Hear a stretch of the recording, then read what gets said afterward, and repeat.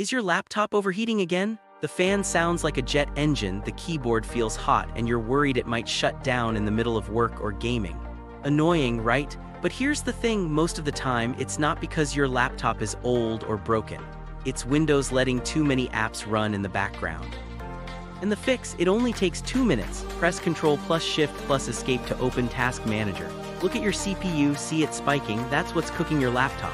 Now click the Startup tab. This is where all those apps sneak in every time you turn on your laptop. Things like Spotify, Discord, update tools, you don't need them at startup. Right-click the ones you don't want, hit Disable and restart your laptop. Suddenly, your CPU drops, the fan quiets down, and the temperature falls almost instantly. No expensive cooling pad, no complicated software, just one built-in Windows setting that makes your laptop run cooler, smoother, and quieter.